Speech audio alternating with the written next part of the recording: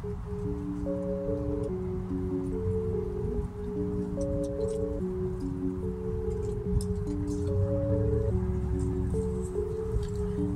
about a month ago, I made a video on antinatalism. And in the video, I spoke about moral implications regarding procreation and antinatalism. And in that video, I also gave a suggestion to the antinatalist dilemma, a solution to the antinatalist dilemma, I should say. And that solution was euthanasia. Basically, healthcare clinics offering euthanasia to anyone who wants to painlessly take their exit from this planet. And I stand by that solution. And on that video, I actually I read a comment comment mentioned that in Canada they have this thing called MAID and it's an acronym. It stands for Medical Assistance in Dying. And um, it was interesting, you know, so um, it's for people that are going through certain grievances and they want a way out. You know, they're they're tired of it. They're tired of this life stuff. You know, so I think it's great. I think Canada is um, making strides towards doing what's right.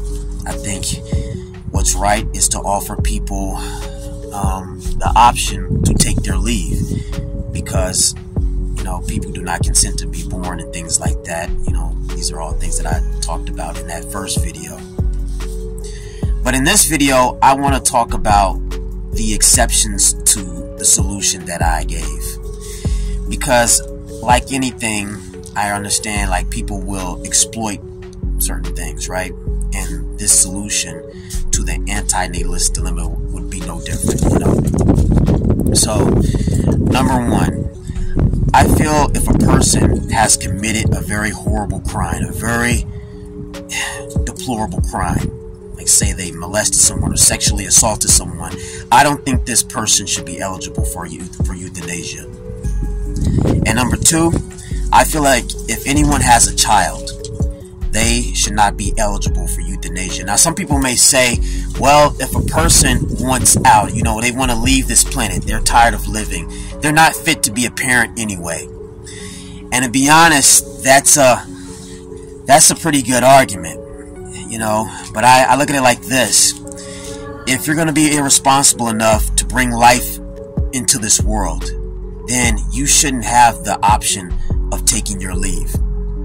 Yes, life can be a very painful thing, but what you did now is you subjected another life form to this pain and suffering. And then, you know, you're also going to have the crowd that'll say, well, not everybody suffers. You know, some people enjoy life and things like that. And that's true there are people that certainly enjoy life. Um, you know, some people they skate on by and they just have a blissful, you know, merry time, you know, as they say. But at the end of the day, you're still gambling with someone's life because it's a gamble. You don't really know what your life will turn out to be.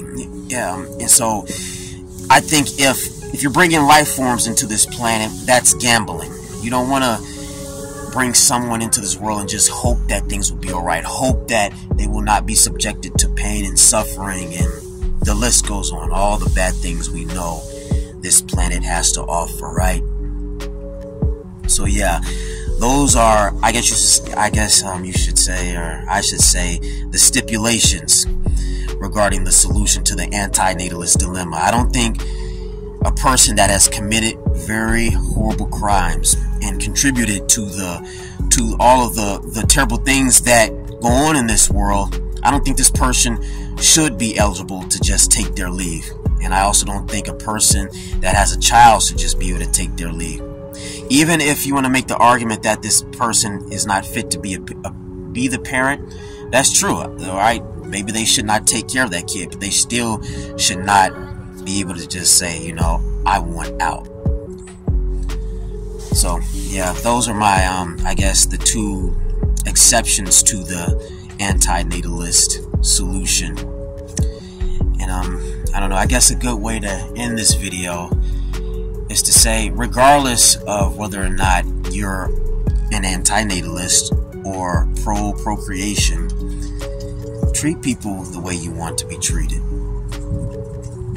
You know, to be honest with you, I don't really you know, you have a crowd of people that'll say it's wrong to not give birth, and we were put on this planet to give birth, and they're basically arguing um, from the standpoint of capability. I call it the capability fallacy, or the the fallacy of capa- fallacy of capability. We're capable, therefore we should be doing it, and I don't agree with that. Just because we're capable of procreating doesn't necessarily mean we should.